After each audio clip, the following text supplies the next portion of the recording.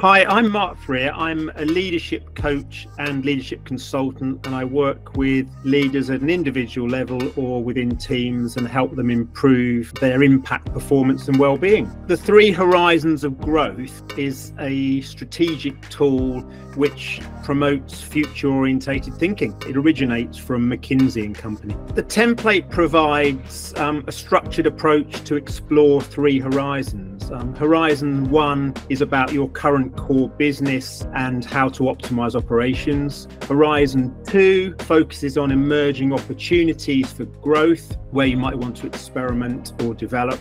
And Horizon 3 is where you can hypothesize around disruptive or transformative options where you might want R&D or partnerships to come into play. You might want to look at it when you're developing leadership capabilities with your senior leadership team. And it might be also something you want to do as part of your sort of annual planning process where you look at future trajectories of your company as it moves forward. It encourages greater strategic thinking. Um, it allows you to explore the impact of short, medium, and long term changes. And it also helps you consider um, growth strategies and how to effectively allocate resources. The Wooclap template is great because it's simple and intuitive within the platform and it takes the pain away from planning training and workshop sessions. I think it'd be most useful to use this template when you're trying to get your teams together and be creative and looking at